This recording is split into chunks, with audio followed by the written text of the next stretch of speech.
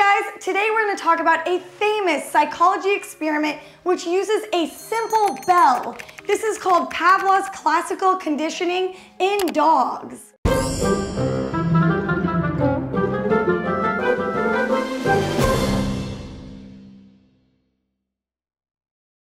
Before we talk about how Pavlov's dog experiment helps humans, let's talk about how humans can help dogs. And I want to thank this video sponsor, which is PetMeds, America's most trusted pet pharmacy. And they carry all of your dog's anxiety medications that they might need. I'm to put a link in my description below so you guys can click on it and go shop online for your pets. So today we're going to talk about classical conditioning, which was created by a Russian psychologist named Ivan Pavlov in the early 1900s when he was doing experiments on dogs using a bell to study their digestive tract.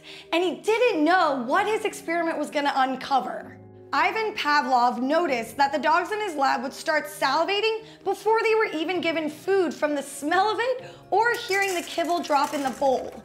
This intrigued him and led to the groundbreaking discovery of classical conditioning. Classical conditioning is a type of unconscious or automatic learning that's created by a conditioned response through associations between an unconditioned stimulus and a neutral stimulus. So in simple terms, classical conditioning involves placing a neutral stimulus, such as a bell, before a naturally occurring reflex in our body, such as salivating. So what Pavlov did is he started to ring a bell with the presentation of food. And he did this repeatedly, and over time, the dogs would learn that when the bell was rang, food would come there. So he started to only ring the bell and the dog started to salivate waiting for their food. Funny thing is, you pet parents might already be using this experiment and you didn't even know it. In our house, for example, when my dogs hear the jingling of their leashes and their collars, they get so excited and they know they're gonna go on a walk. And another example is if you say, do you want your food? Your dog starts sitting there waiting and salivating knowing the food is coming. So classical conditioning is used on a daily basis with us pet owners. So Pavlov's experiment with dogs really cracked the code how behaviors can be learned through association and how stimuli can elicit a response. So back then, 100 years ago, he created this experiment which really helps us today in human psychology. So in human psychology, classical conditioning is used to understand how our behaviors are altered due to our environmental neutral cues and stimuli.